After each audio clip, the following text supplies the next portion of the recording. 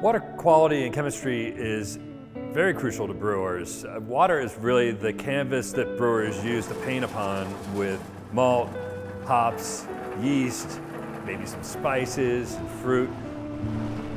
We're really fortunate here to have amazing water. In fact, our water in Fort Collins primarily comes from the Poudre River and some from Horsetooth.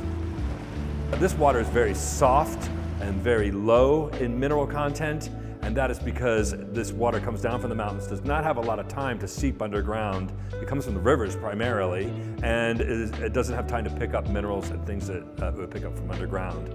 Uh, as opposed to other areas in the country where you have underground aquifers that you're pulling water from, and you have rain coming down, extracting mineral content you know, through underground aquifers into that water that may be what we call harder water, higher in calcium content specifically. Yeah, that's why a lot of the lager breweries sprouted up here because it's extremely amazing, just amazing water to brew with. It's uh, perfect for making light American lager beer for sure, but in terms of craft brewing and all the other amazing breweries we have here in Colorado, this water is very soft. It's easy to build upon that by the addition of specific inorganic salts such as calcium chloride, calcium sulfate, magnesium chloride. We can add these things to the water and actually doctor it up um, and, and turn it into pretty much any type of water we want to brew all kinds of styles, whatever you want, brown ales, whatever you want. English pale ales, we can do all that stuff here.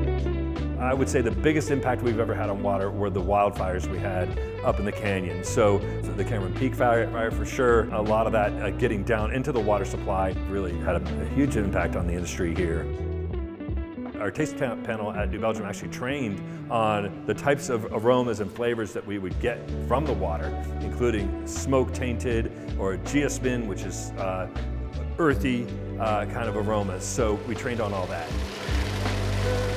Brewing can be very water intensive.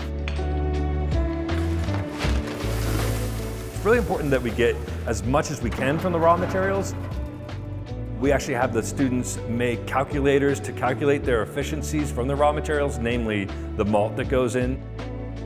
So there are creative ways um, and some industry standard ways to reuse that water in those processes to reduce waste during cleaning for sure. Brewers by nature are very innovative people and like to think outside the box around a lot of things. So um, I like to think that you know, brewers, brewers have really set a lot of standards in not only brewing industry but otherwise in terms of water conservation and water savings.